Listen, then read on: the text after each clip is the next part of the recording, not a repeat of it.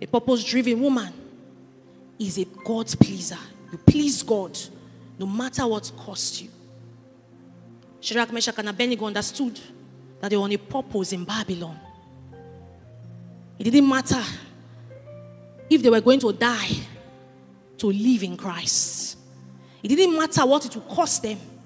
Oh, the king threw them into the fiery furnace. They gave them a condition. He gave them a condition. They were willing to bow to God at the expense of their life. They proposed. Because you see, when you are on purpose, you must propose deliberately, not to please men. You must propose. Number two, very quickly, the story of Tabitha. The story of Tabitha. The characteristic of Tabitha is that she was hospitable, she was kind. Acts 9, verse 36, Amplified Translation. It says, Now, Acts 9, 36, TPT. It says, Now there was a follower of Jesus who lived in Joppa. A follower of Jesus who lived in Joppa. Her Aramaic name, Tabitha, means gazelle. Her Aramaic name, Tabitha, means gazelle. She lived her life doing kind things for others and serving the poor. If you look at scripture, the only took just one one verse, not a full chapter, that Tabitha was mentioned. That's why I said I specifically had to select some women in the Bible so that you can know that you she, she wasn't popular, but she was purposeful. She wasn't out there, she wasn't in chapters. But you see, she was purposeful. She was there, serving the people, doing kind things, serving the poor till her death. That widows had to gather to say, Peter, please come, come, come, come, come. Tabitha is dead. She was, she was living the life. Serving, being kind. Because your own may just be hospitality department in church. Welfare. Your own may just be something that may not look like it's it's so it's so loud. It, sometimes some of you deviate from what God has told you to do because it's not loud. So if it's not loud, I'm not relevant.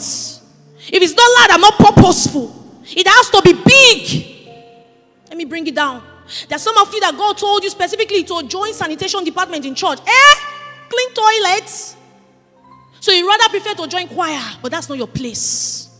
So many of you are here, just like this example I gave. You have displaced the purpose of God in your life because there is an imagination of what your purpose should really be. Many times you have compete, you have been competing with others because you see it has to be like this. If it's not the altar, my purpose is altered.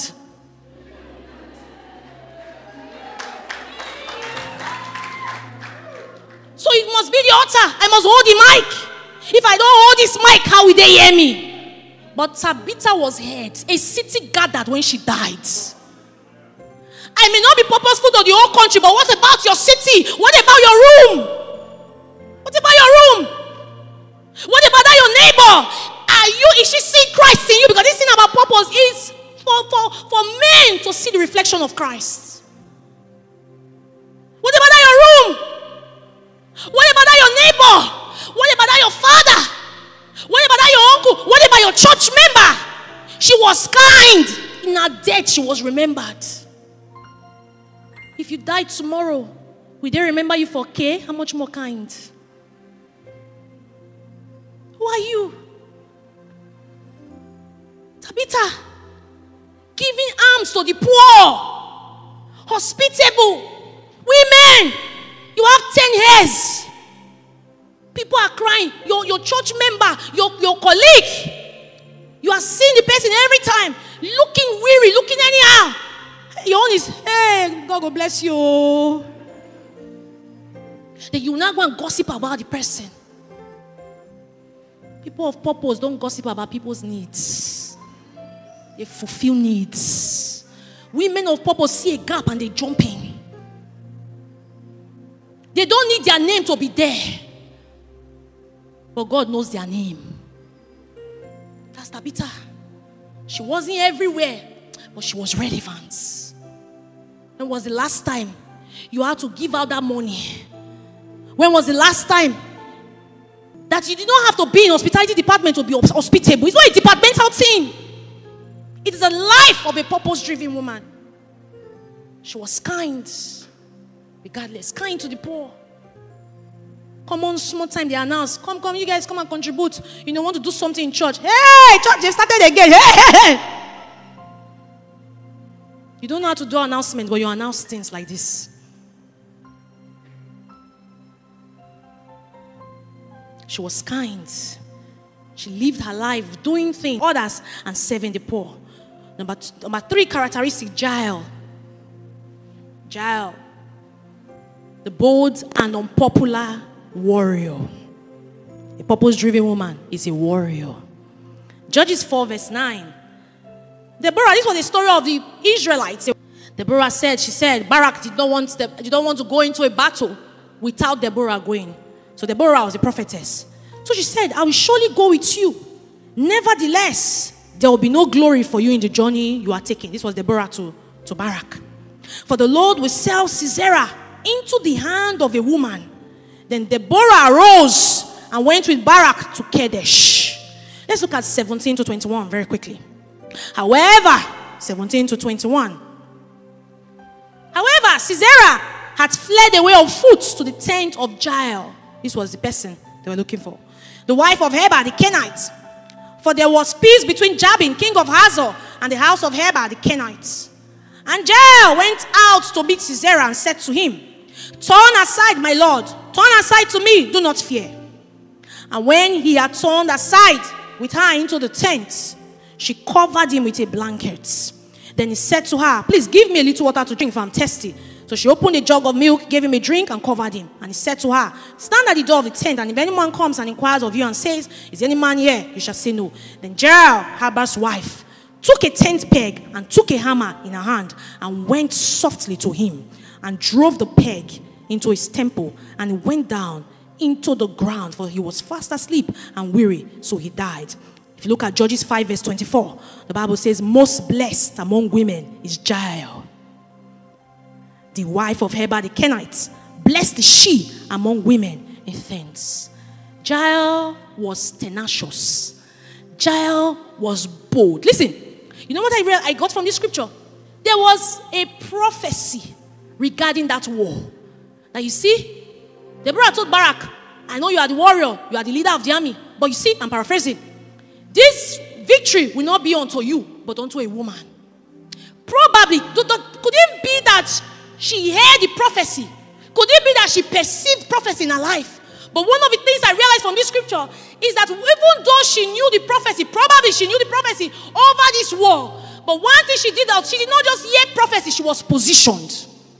Because purpose driven woman is positioned in times of warfare.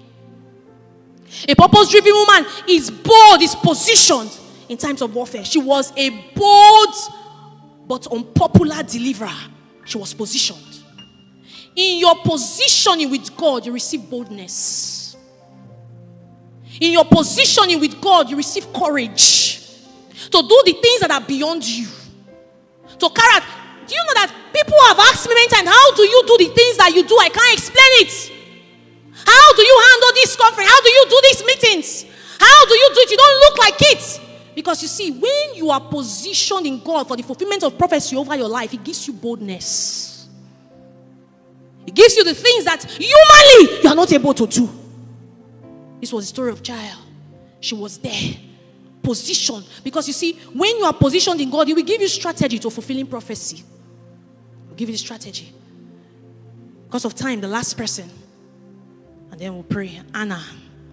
The characteristics of Anna is that she was prayerful. You can't do purpose without prayers. Luke 2, verse 36 to 38. Anna. A N N A. Luke 2, 36, 38. Look at the very interesting thing about Anna. Now there was one Anna, a prophetess, the daughter of Phanuel of the tribe of Asher. She was of a great age and had lived with a husband seven years. So she was married for seven years. And this woman was a widow of about 84 years. 84 years. She did not depart from the temple, but served God with fastings and prayers, night and day. She lived with her husband seven years. This woman was a widow. She didn't allow her circumstance make her deviate. She didn't allow her circumstance make her drop on prayers. She didn't allow her circumstance make her stay without God. You know, sometimes you are so carried away with the things that happen in your life and you will not know when you have left that part. There's some of you here that you used to pray very fervently. You will pray. Sometimes you are sleeping, you are mumbling words. But you see, a lot of things have happened in your life. There were times you were abused and you're like, no, God anymore. Oh, you lost a loved one. You're like, oh, there is no need to pray anymore. I mean, where is God? Where is God in this? Does God still exists? You have been trying different relationships, thing doesn't seem to be working. Where is God?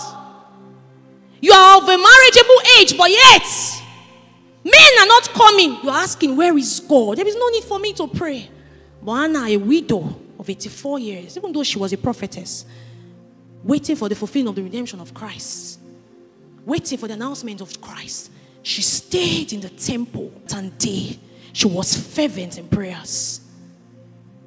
Because you see, a purposeful person is a prayerful person, a purposeless person is a prayerless person.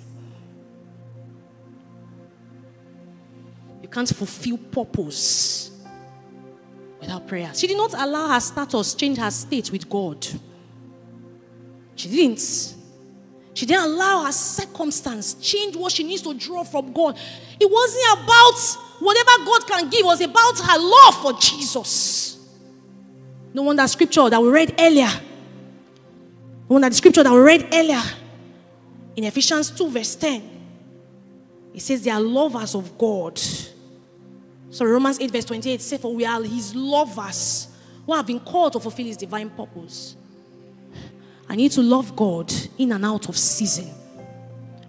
To be able to fulfill that which He has designed for me as a person, I must love Him with all my heart to do all that He has given me to do.